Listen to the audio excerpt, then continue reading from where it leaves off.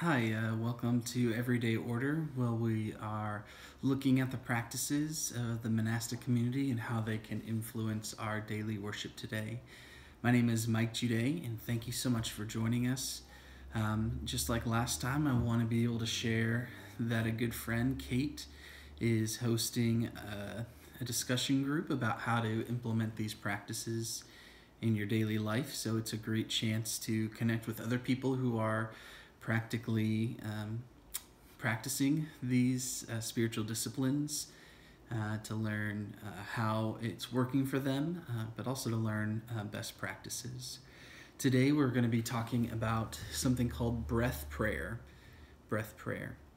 Uh, breath prayer is the act of focusing your breathing um, to be able to calm your heart as you engage in prayer breath prayer is a really interesting thing and, and right now it's actually sunday afternoon even though this video is released on monday uh, morning and i just couldn't wait because uh, i am in need of practicing breath prayer right now.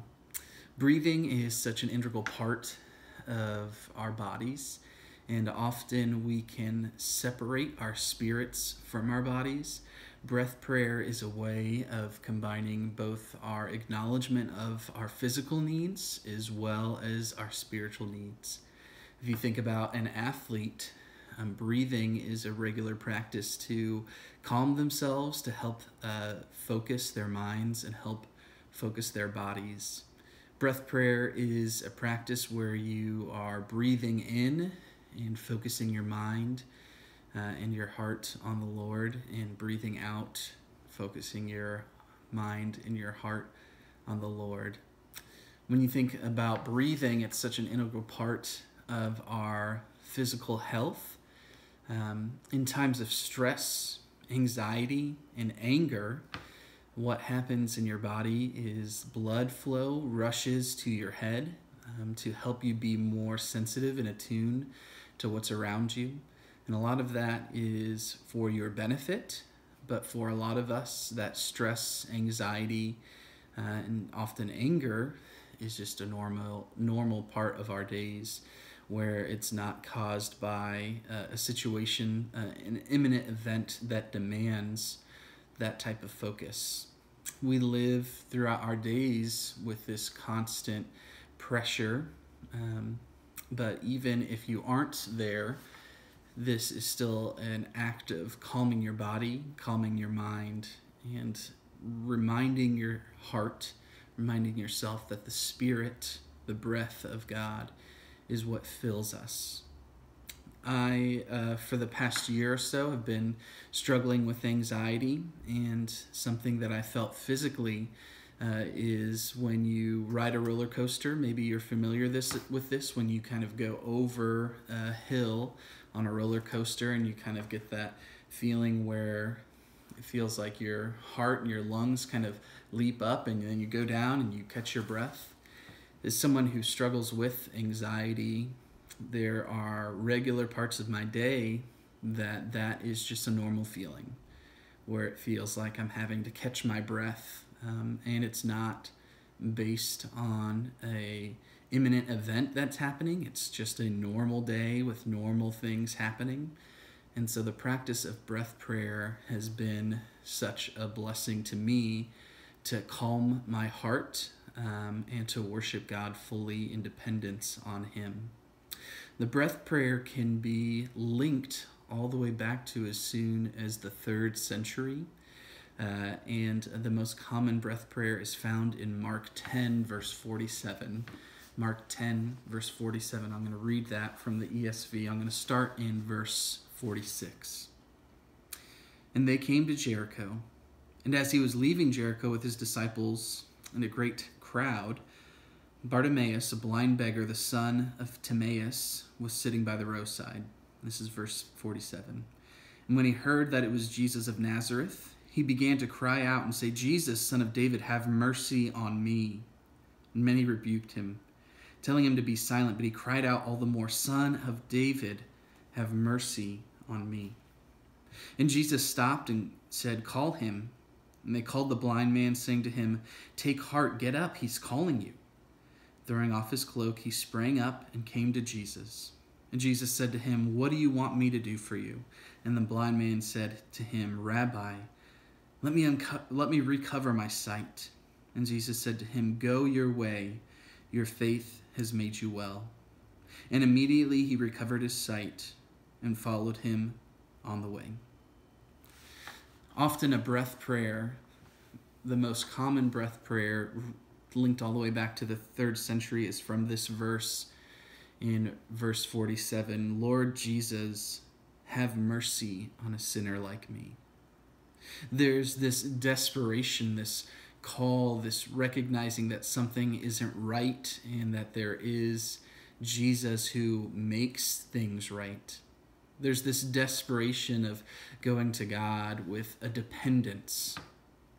Often in Western culture, we can see prayer primarily as a conversation, and our minds are intellectually engaged as we're having this back and forth with God, or maybe for you uh, or for many of us, it's just a one way conversation. But Paul tells us to pray without ceasing. And for a lot of us, that seems not realistic because when we relegate prayer to simply an intellectual conversation with God, there's no way that we could do that all day without ceasing. The breath prayer is one of the ways that help us engage in, to pray without ceasing, to go to God in desperation. But maybe you're also like me, and in engaging in prayer, my mind can just go a million miles an hour. And before I realize it, I'm not even talking to God anymore. I'm just thinking. Uh, I'm not intentionally inviting Him in. I'm not focused on His goodness, on His mercy, on His grace through Jesus, on the dependence of the Holy Spirit. And I start thinking about the tasks of the day, or I start thinking about the worries of the day. I'm not saying that's wrong. Um, but without the intentionality of finding our physical rest in God, prayer just seems like a one way conversation or maybe just talking to a wall. Breath prayer helps us focus our hearts and our minds, enjoying the rest in our bodies, knowing how God created us.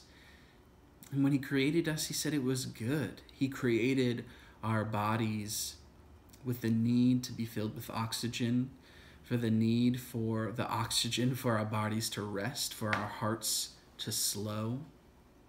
And it's being able to take time to do that together. The breath prayer is a sim- simple statement that's able to be said as you're breathing in and breathing out. Breathing in and breathing out. Like I said, dating all the way back to the third century, this breath prayer has been a part of uh, Christian practice. To breathe in, Lord Jesus, have mercy on a sinner like me. And it's this focused prayer where you continue to think if this is the only thing that I think of, I will have found rest in God. For me, I, I don't want to be too uh, intimate, um, but for me, my breath air, uh, excuse me, my breath prayer is you are my deepest rest. Rest is a thing that I'm desperate for. Rest is a thing that I crave that I can't find in many places. So, spending time to breathe, to focus my heart and my mind on God through Christ, depending on the Holy Spirit, to remind myself you are my deepest rest. So I want to take a few minutes to practice this together. Remembering that God designed our bodies, and in Genesis, after He made man, He said it was very good. That your body is not an effect of the fall. The fact that your body needs oxygen to fill it to give you life is not a negative thing it's not an aspect of the fall, but it's a part of God's very good design. That we are able to rest our bodies in that. And then our minds are prone to go a million miles an hour, thinking over and over and over again to think about the things that we need and petitions to God, to think about the things we need to do, the task list that I have, and the list goes on and on and on.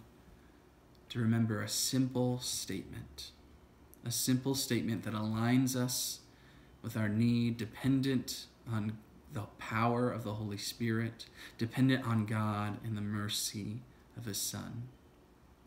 So we have practiced this, but I want to continue to practice this and really specifically look at breath prayer. So, thinking about our bodies, it is best to sit at the edge of your chair. So I'm in a chair right now. You can't see that I am. It's helpful to put your feet on the ground, firmly planted, being rooted to the earth, to the ground to have a straight back, to fill your lungs with air, and to have your palms facing upward in a receiving posture, knowing that God will respond in the Holy Spirit. Maybe you're someone who doesn't like to sit. Maybe you need to stand. Maybe you need to lay down. Maybe you kneel. Whatever it is, think about consciously what are you doing and how does your body posture impact how you're engaging in this prayer practice. So, to start, I want you just to close your eyes if you're able to and breathe in through your nose. Breathe out. Breathe in through your nose. Breathe out.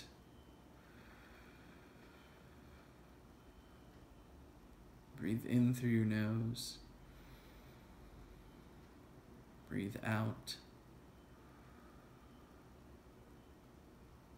As you continue to breathe in and breathe out, remember that you are filled with the Holy Spirit, the breath of God that gives us life and power.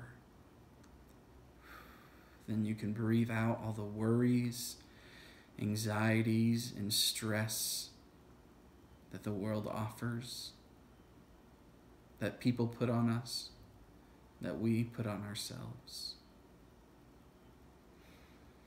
Breathe in the goodness of the Holy Spirit.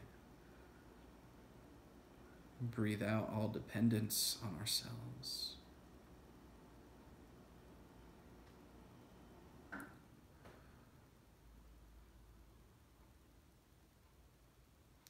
I want you to continue to breathe deeply. And as you breathe in, consider focusing on these words. Say them in your heart and in your mind. Lord Jesus, Son of God, have mercy on me.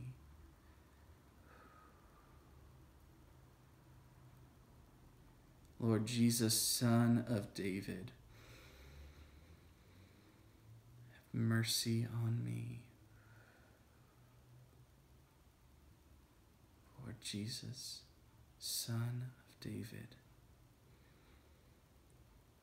have mercy on a sinner like me. Lord Jesus, Son of David, have mercy on a sinner like me.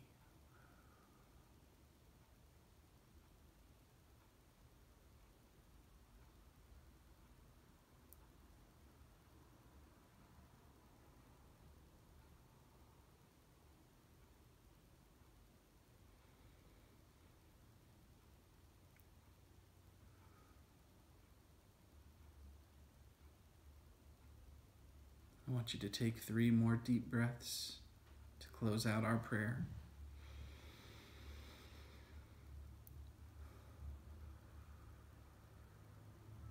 Two more.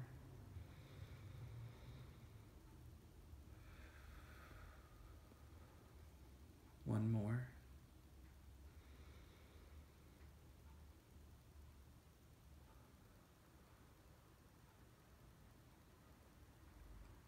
Amen. I hope that this was a blessing to you, uh, a practice that you can practice regularly.